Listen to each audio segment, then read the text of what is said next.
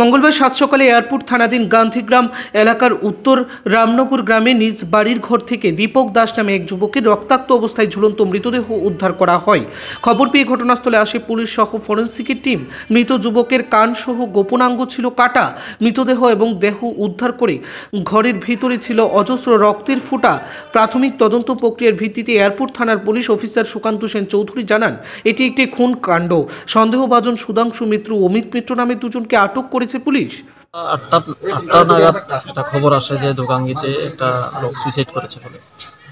যথারীতি খবর পেয়ে আমরা ঘটনাস্থলে এসেছি। এসে দেখছি মাল্টিপল ইঞ্জুরিজ আছে। ওর শরীরের অনেকগুলি পার্টস কান স্পেনিশ এইসব জন- জিনিসগুলি কাটা, পেটে কাটা আছে। তো এই মাল্টিপল ইঞ্জুরিজ দেখে আমাদেরকে আমাদের কাছে প্রাথমিকভাবে মনে হচ্ছে যে এটা মার্ডার কেস তো সেভাবে আমরা ইনভেস্টিগেশন শুরু করেছি। আমরা যাবতীয় যা যা ইনভেস্টিগেশন করতে লাগে FSL team dog squad fingerprint সমস্ত কিছু নিয়েই আমরা অ্যাডভান্স হচ্ছি। এইভাবে আমরা শুরু করেছি। সন্দেহভাজন কাউকে আটক করেছেন স্যার?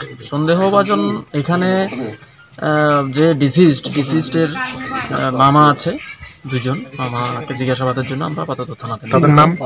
তবে কী কারণে এইভাবে তার দেহের বিভিন্ন অঙ্গ প্রত্যঙ্গ কেটে তাকে হত্যা করা হলো তা সঠিক পুলিশি তদন্ত বেরিয়ে আসবে বলে মনে করছেন এলাকার মানুষ। প্রিয় রিপোর্ট হাল্লাবুল ইন্টারন্যাশনাল।